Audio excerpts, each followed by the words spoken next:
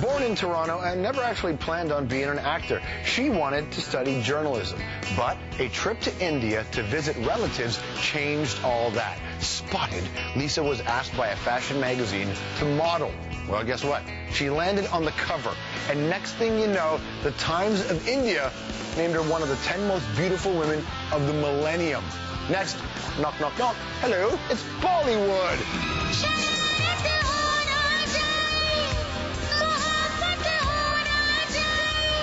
First she refused all offers. But eventually, in 2001, she agreed to appear in the picture Kasoor.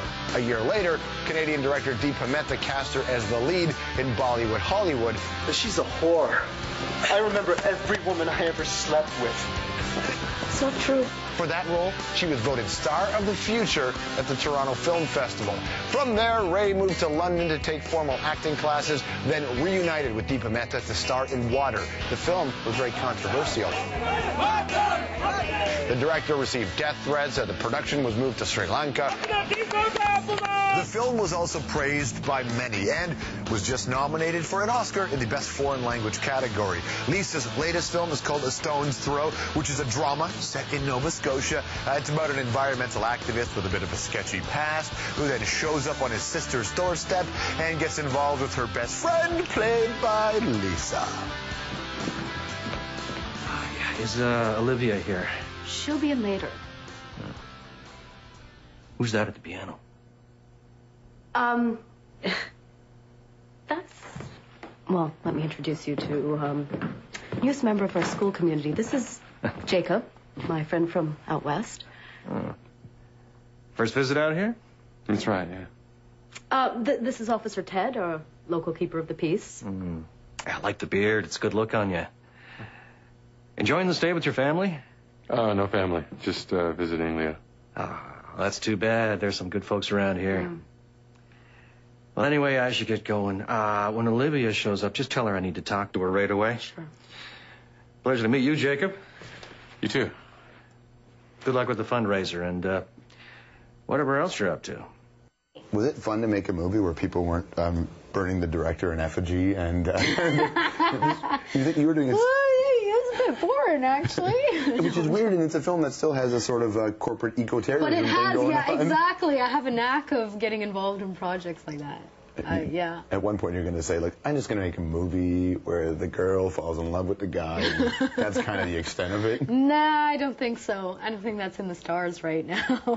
For people who are just going to tune in, this when this movie opens, they're going to see this interview. Um, give them the movie, sum it up for them. well, you know, from my point of view, from my character's point of view, it, it it is a romance. You know, it is very much a love story, but it's also about um, redemption, forgiveness, coming to terms with certain things. Um, that's really an important part of the journey. But of course, it's also like a, I guess you could say, an eco story. You know, it certainly you know brings up a lot of awareness of what's happening, which I think we all. I mean, we're seeing the effects right now, aren't we, in the world? So it's something that can't be, I think, brought home enough right now.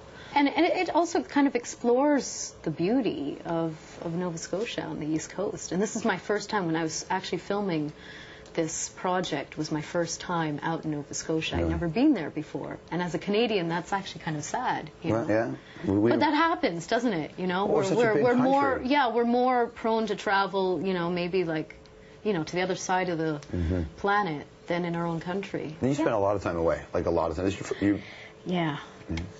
You like being away. You liked having homes in one place. You know, people in Paris, people away, people here, people there, and then coming to Canada every now and then. You still like that, or has it, has it worn on you a little? No. Not at all. Are you lying to me? Not at all. Lie to your family. Don't lie to me. Not at all. Look into my eyes. Not at all. Um, no, I love it. I love it. I'm. Um, I, I, I was actually sort of reminiscing with um, with a friend the other day, and you know, a, a lot of people sort of have this tendency to say that, well, my life didn't exactly turn out the way that I thought it would. Mm-hmm. You know, and there's a certain amount of either whether it's disappointment or you know resentment or surprise but I, I can honestly say my life has turned out better than I ever thought it would Well, you were young, and it was like 16 or so when you were over there, and something happened, and someone said, "Hey, you want to be a model?" and da da da. da. Think of how much different your life would have been if your father said, No. Yeah, exactly. Did he say no enough that you had to convince him, or was he cool with it from the beginning? No, my dad's always perceived the um, inherent Romanian gypsy within me. So he's never really tried to stymie me in anything. And, um, and you know, my dad's really cool, actually. My, it's my dad that's of Indian origin, so you might, you know, some, sometimes people think that he might be a bit strict, but he's actually a lot more liberal than my mom, who's too, Polish, Polish, yeah. you know. And, um, and I guess he had his own dreams when he was growing up. Like he always wanted to be a film director, but he became a chemical engineer because that was the right thing to do. I grew up in a neighborhood which was uh, very Indian, very Pakistani, and we watched a lot of those movies. You Um, did? Oh, yeah, we did. Yeah, I don't even. I didn't understand most of them. Really? Yeah, yeah, lots of. That's much of my neighbors watched. So I would watch them with that.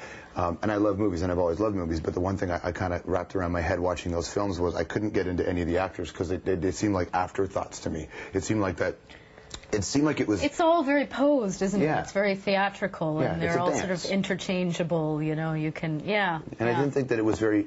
I mean, movies were entertaining to watch, but I didn't find the people generally very compelling because I couldn't get into them. Like, I don't know what the hell's going on here. Is that part of the reason why you, you walked away from, for lack of a better term, the easy money and, and, and, and, that, and that path that is that Bollywood thing?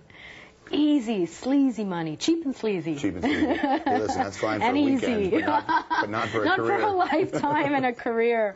Yeah, what can I say? You kind of you kind of hit the hit the nail on the head, you know, because um, I don't know. I just yeah, I don't buy them. You know, I don't buy that aesthetic. It's a different aesthetic. You know, their their approach to work, and it's really ironic because while I was um, I was working on another film out in Rotterdam just now, and there was a bunch of Bollywood actors that were passing through town. They were doing their little song and dance numbers that they do in the um, in the summer, and um, that's a different story. We won't get into that now. In- Instead of junkets, you do song and dance. Yeah, they, they do song and dance. Well, that's it. It's like a song and dance number junket. Yeah, and they come and they put on these big concerts where they lip sync to their hit song and dance numbers. So it's and like going make to a Britney lot of Spears show. Make a lot of cash. Did you really? Did you ever do that?